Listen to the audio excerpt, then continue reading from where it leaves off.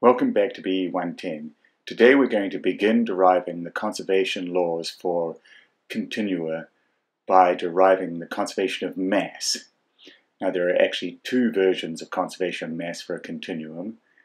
They represent the same physical principle, but one of them is a Lagrangian form, so mass conservation as seen by a material observer, and the other is an Eulerian form, mass conservation as seen by a fixed spatial observer. So first we'll derive the Lagrangian form of mass conservation, and to do that we'll consider a deforming body with a motion described using a Lagrangian material representation as little x equals little x of big X and t.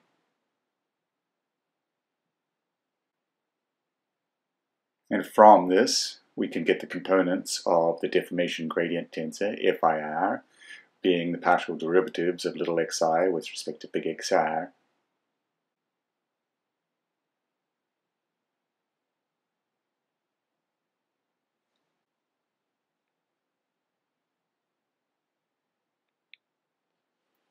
Now, conservation of the mass contained within a closed material region R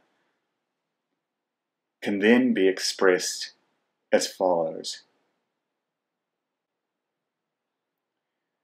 The triple integral over the region R of rho naught, the undeformed density, with respect to volume in the undeformed state, is equal to the triple integral over R of the deformed density with respect to the deformed volume dV, or writing this in components, the triple integral of rho naught, the undeformed density, with respect to d big X1, d big X2, and d big X3 is equal to the triple integral over R of rho, the current density, d little x1, d little x2, d little x3.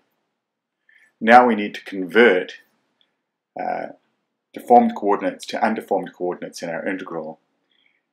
And the way we do that is to use the partial derivatives in a chain rule, del xi, del xr. And in fact, the expression that you get if you derive the conversion from d little x1, d little x2, and d little x3 to d big x1, d big x2, d big x3 is actually the determinant of del xi, del xr, and that's known as the volume integral Jacobian.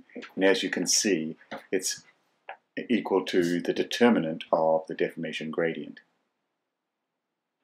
So therefore, we can now write our integral equation as the triple integral over r of rho naught, the undeformed density with respect to undeformed coordinates dx1, dx2, dx3 is equal to the triple integral with respect to r of rho, the deformed density, times the determinant of f, d big x1, d big x2, d big x3.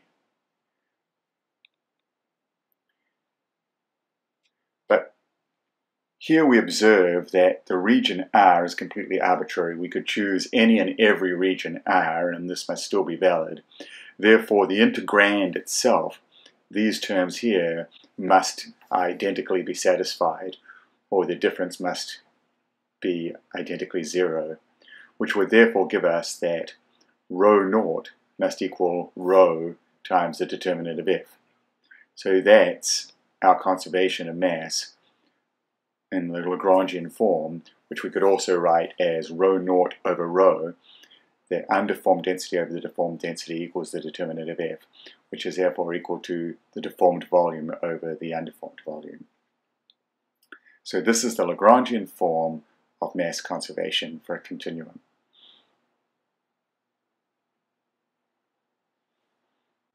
To illustrate this, let's consider a unit cube whose sides are aligned with the principal axes of stretch.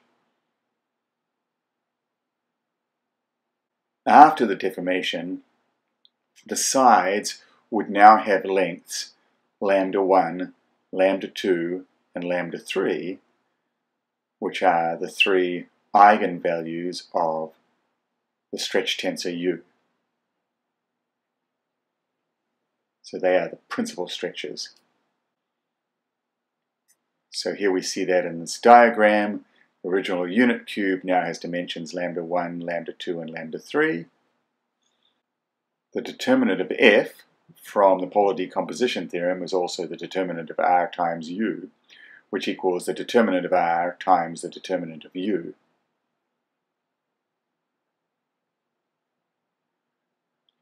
Now, r is an orthogonal rotation tensor, and so its determinant is 1, meaning that the determinant of f must equal the determinant of u, which in this case would be the product of the principal stretches lambda 1, lambda 2, lambda 3, which of course is the deformed volume of our original unit cube, which had undeformed volume of 1 by 1 by 1,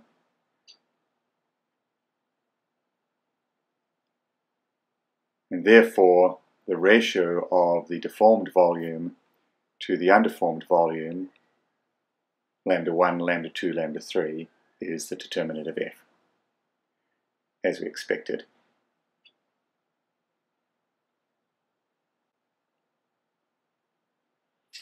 If a material is incompressible, that means its density is constant, and material volumes don't change, so rho is equal to rho naught, or d little v is equal to d big V. Therefore, conservation of mass states that the determinant of F equals 1 for an incompressible continuum. This is sometimes known as the kinematic incompressibility constraint.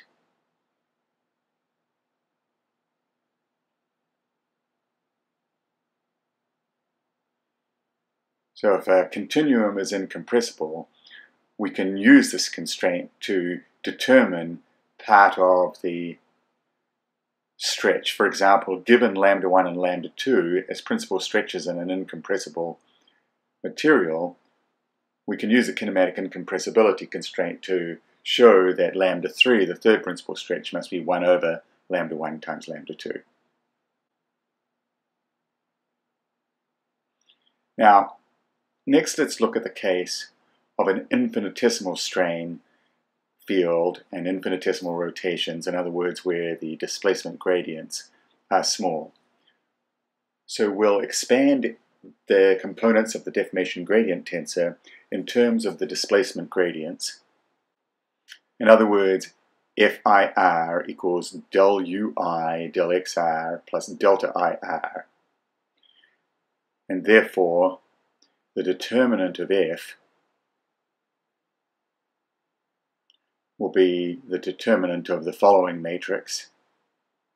Del u1 del x1 plus 1 del u1 del x2 del u1 del x3 in the first row del u2 del x1 del u2 del x2 plus 1 and del u2 del x3 in the second row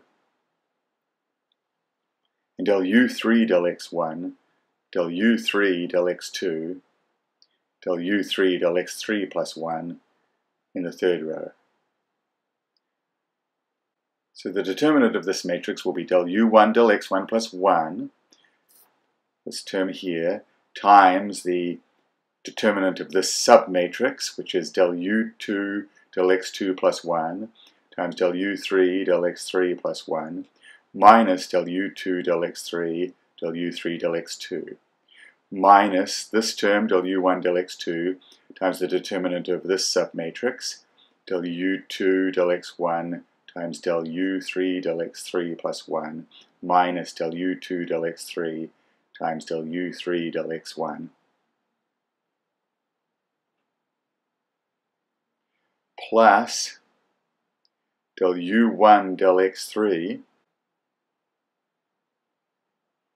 times the determinant of this submatrix, del u2 del x1 times del u3 del x2 minus del u2 del x2 plus 1 times del u3 del x1. Now if we look at this expression, we see that all of the terms here, here, here, here, and here all involve quadratic or higher combinations of these derivatives. So we get 1, this product there, plus del u1 del x1 plus del u2 del x2 plus del u3 del x3 plus a lot of terms that are all of order del ui del xr squared or smaller. So if del ui del xr is much less than 1, then terms of order del ui del xr squared and smaller are even less than 1, and so the determinant of f is approximately equal to 1 plus del ui del xi for small displacement gradients. Now remembering that the Cauchy strain tensor epsilon ij is del ui del xj plus del uj del xi divided by 2, you can see that del ui del xi is just EII, the trace of epsilon. So in other words, in the limit of infinitesimal strains and rotations, the determinant of f is 1 plus the trace of epsilon. The trace of epsilon will be 0 if there's no volume change, positive if it's greater than 0, negative if it's shrinking, and this term is called the dilatation.